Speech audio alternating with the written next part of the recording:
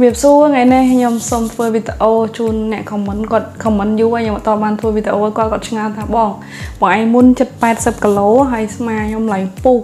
ហើយនឹងកករបស់ខ្ញុំនេះវាបឿខ្លាំងណាបងប្អូនទាំងអស់គ្នាជាពិសេសបឿហើយនឹងកកខ្ញុំវារៀងធំខ្លាំងហើយគាត់ឆ្ងល់ថាហេតុអីពេលដែលខ្ញុំស្រកទៅវាអត់សូវយាសាច់ចឹងណាបងប្អូននេះ យើងចាប់សឹងថាសាច់វាអត់ធ្លាក់មកយារបៀបអាក្រក់មើលអញ្ចឹងណារបៀបមើលទៅដូចជាយើងធាត់លក្ខណៈមួយស្រកធម្មតាដែលវាមើលទៅដូចធម្មជាតិដែលយើងអត់យាសាច់ខ្ញុំមាន3លំហាត់ប្រានចែកម្ដេចបងប្អូននៅក្នុងថ្ងៃនេះយើងធ្វើម្ដង3ជុំតែខ្ញុំសូមបង្ហាញតែម្ដងម្ដងតែបងប្អូនអាចអនុវត្តនៅផ្ទះខ្លួនឯងរាល់ថ្ងៃធ្វើមួយក្បាច់3ជុំម្ដងយើងរាប់10ដង្ហើមគឺខ្ញុំប្រើប្រេងដូងអានេះគឺជា ប្រេងដូងខ្ញុំចាក់ដាក់ដបបែបហ្នឹងអញ្ចឹងបងប្អូនមូលហេតុដែលខ្ញុំប្រើប្រេងដូងវាយើងងាយស្រួលម៉ាស្សាជាងអញ្ចឹងណាយើងដាក់នៅលើដៃរបស់យើងមកបងប្អូនទាំងអស់គ្នាយើងដាក់នៅលើដៃយើងឲ្យសពមកយើងរុញកយើងទៅក្រោយបែបនេះចំនួន10ដងយើងធ្វើ3ជុំរុញឲ្យដល់ក្រោយហ៎បងប្អូនរុញឲ្យដល់ក្រោយកយើងហ្មង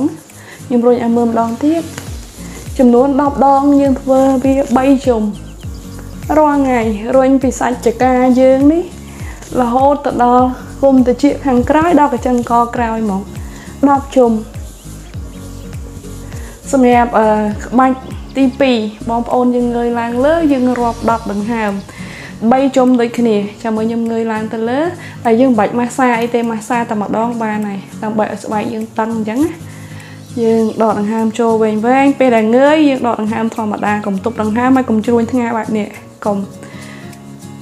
យើងងើយឡើងលើបែបនេះយើងមើលទៅលើធម្មតាដកដង្ហើម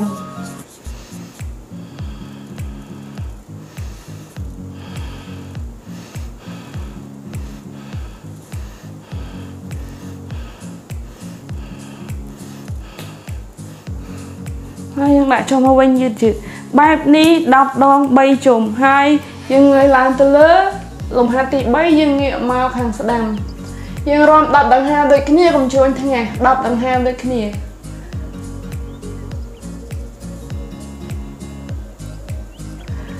យើងធ្វើងាកឆ្វេងស្ដាំខ្លួនឯងទៅបងប្អូនប៉ុន្តែមួយខាង10ហើយយើងធ្វើ3ជុំ បងប្អូនអនុវត្តជាប្រចាំខ្ញុំហ៊ានធានាថានៅពេលដែលបងប្អូនវិវត្តអាយុទៅ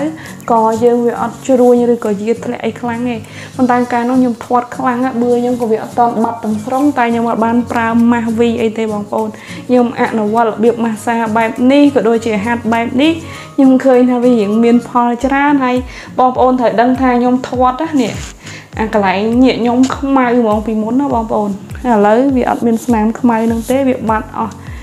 មូលហេតុដែលយើងប្រើប្រេងដូងនេះគឺវាជួយផ្សើមដល់ស្បែករបស់យើងដែរវាល្អជាងយើងប្រើប្រេងជាលក្ខណៈលេអញ្ចឹងព្រោះខ្ញុំប្រើប្រេងដូងរៀងយូរគួរសមដែរអរគុណច្រើន